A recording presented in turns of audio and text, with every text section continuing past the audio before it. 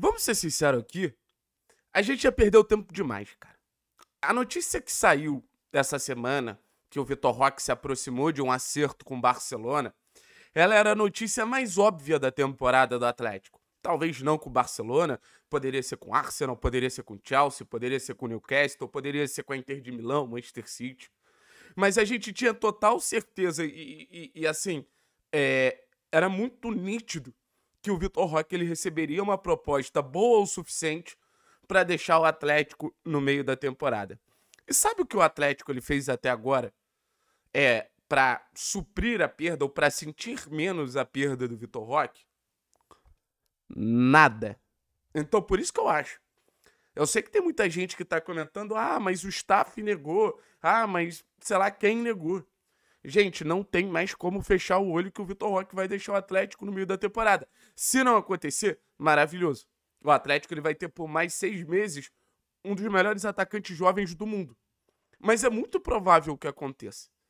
Então não adianta a gente ficar empurrando com a barriga uma realidade que já está na nossa frente desde o ano passado.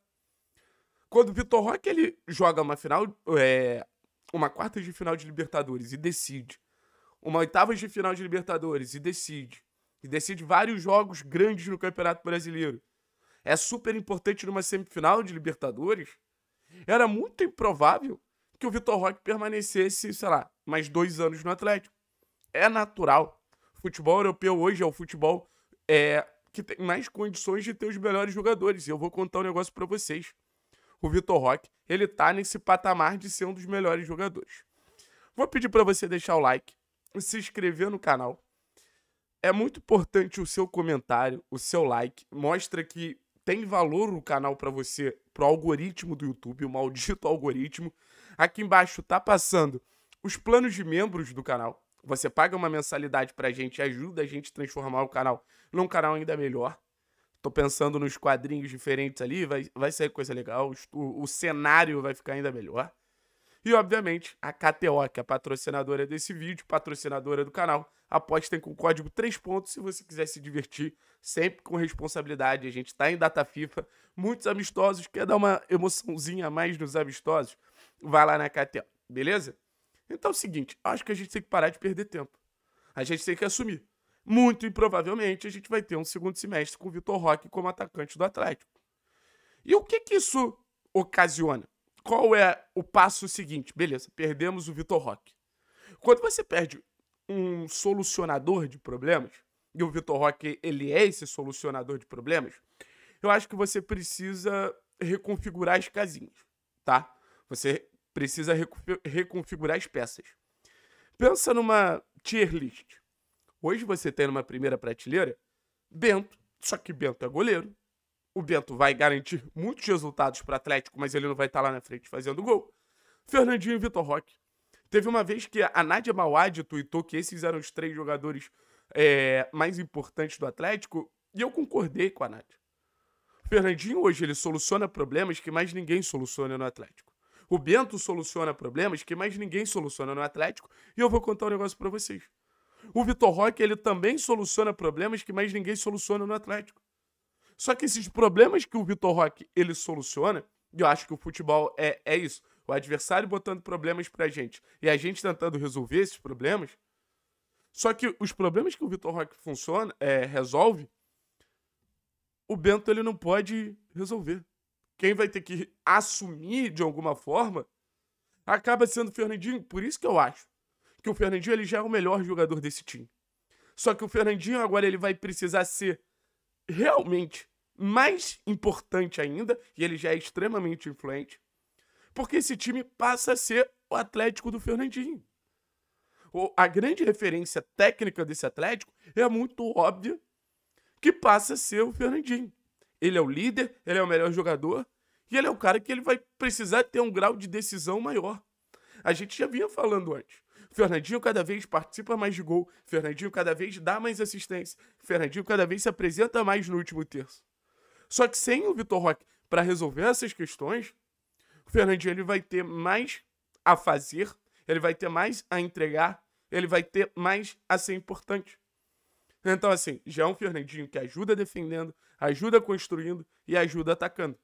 Eu acho que o Atlético ele precisa ter um plano de ser um Fernandinho cada vez menos se desgastando em defender e cada vez mais se desgastando em construir e atacar muito, porque a gente vai precisar que ele assuma um papel de um protagonismo absurdo. Sabe? Suprir a perda do Vitor Roque, nenhum atacante do elenco vai suprir. Mas suprir o protagonismo do Vitor Roque, o Fernandinho ele pode assumir essa responsabilidade. Porque o Fernandinho ele é muito acima da média. Então, assim, jogando ao lado de um Fernandinho, um Christian vira um jogador melhor. Jogando ao lado de um Fernandinho, o Eric vira um jogador melhor. Jogando ao lado de um Fernandinho, o Terence vira um jogador melhor. Jogando ao lado de um Fernandinho, o Alex vira um jogador melhor. E no ataque é a mesma coisa. Jogando ao lado de um Fernandinho, o Canobi, o Coelho, o Pablo viram jogadores melhores. Então a gente vai precisar do impacto do Fernandinho nesses caras, porque perdendo um cara como o Vitor Roque, a gente vai precisar ainda mais da melhor versão, não só do Fernandinho, mas da melhor versão de todo mundo. Da melhor versão do Canobi, do Coelho, do Pablo. E eu acho que só isso é, já transformaria o Atlético numa equipe muito forte. Mas para isso o Fernandinho tem que estar tá mais protegido. Não sei se com Alex e Eric, não sei se com Alex e, e Hugo, Eric e Hugo. Mas a gente precisa criar um contexto onde o Fernandinho jogue mais do meio para frente do que o meio para trás. E o jogo do Atlético ele é muito desgastante para quem é, é um cara diferenciado, extremamente tá, é técnico como o Fernandinho, que estava acostumado a jogar com a bola. O jogo do Atlético obriga ele tá correndo atrás de, de gente o tempo inteiro, tá marcando o tempo inteiro. Isso não pode acontecer mais. Ou isso não deveria acontecer mais. Vai ser o Atlético do Fernandinho no segundo semestre. Óbvio que ele precisa dividir responsabilidades. Não pode ser só o Atlético do Fernandinho. Acho que agora, mais do que nunca, ter o Terence jogando bem de volta seria fundamental. Sabe? Ter o Terence jogando é, de maneira como ele jogou na temporada passada, das 26 participações em gol da temporada passada, seria muito importante, porque a gente vai ter uma perda, perda técnica muito importante. A gente precisa ter uma reposição, tanto na questão técnica, mas tanto também na questão de capacidade de decidir jogos. E o Fernandinho, ele tem capacidade de decidir jogos? Tem. Mas seria muito melhor um Terãs bem ao lado do Fernandinho, para que ele pudesse é, dividir a atenção e até mesmo da marcação. Conforme o cara vai ganhando muita notabilidade, conforme o cara vai ganhando muito protagonismo numa equipe, fica muito fácil para o adversário anular aquele cara. E a partir disso, o que, que acontece? O adversário fica muito confortável. Se você tem duas boas referências, o Fernandinho pode ser marcado, mas o Vitor Roque está livre. Ou está menos marcado. Então é mais ou menos isso. O Fernandinho está marcado, mas o Terence está desmarcado. O Terence pode fazer a diferença. Nosso meio-campo é o nosso principal setor, então acho que ao lado do Fernandinho a gente sempre vai ter peças importantes. O Rock é uma peça importante, é... o Rock não vai estar mais no caso, mas o Christian é uma peça importante, o Eric é uma peça importante, o Alex é uma peça importante. Então acho que todo mundo ali em volta do Jim vai ser ainda mais fundamental. Eu já contei para vocês a formação que eu prefiro, do meio para frente seria Eric, Fernandinho, Canóbio, Christian, Terãs e alguém, se não for o Rock, a princípio é o Pablo. Mas, assim, eu, eu tô repensando muita coisa. Eu acho que a gente tem que pensar cada vez mais num Fernandinho que deixou o Atlético. Que foi um Fernandinho camisa 10. E a gente viu vários lances de um Fernandinho se aproximando de ser um 10, principalmente nesse último momento antes dele se lesionar.